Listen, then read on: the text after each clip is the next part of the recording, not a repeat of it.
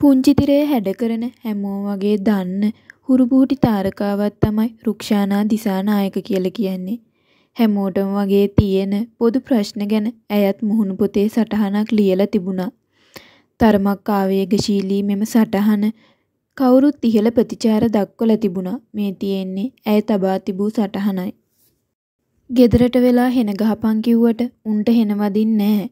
Kanchana token ගන්න කියලා දවස් ගණන් මිනිස්සු රස්තිය අඩු කරලා නැව්වෙනවා කියලා මුලා කරලා අන්තිමට කියනවා අත්‍යවශ්‍ය සේවාවට විතරයි පෙට්‍රල් දෙන්නේ කියලා. ඒ ඇස්සේ බලු මූණක් තියෙන ඇමතියා කියනවා නගර අතර යන්න එපාලු. අවුරුදු දෙකක් කොරෝනා වලිනුත් බැට කාලා මිනිස්සුන්ට තව වැටෙන්න තැනක් නැහැ.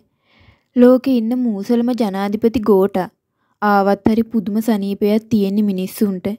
කලිනුත් මේව දාලා බයෝ ටික රිපෝට් කරලා මාසයක් විතර FB එන්න බැරුව හිටියා. මිනිස්සු අවුස්සනවා කියලා නඩුත් දාන්න හැදුවා. ප්‍රශ්නේ තමන්ගේ නොවන තාක් පිළිතුර දාර්ශනිකයි කියනවනේ.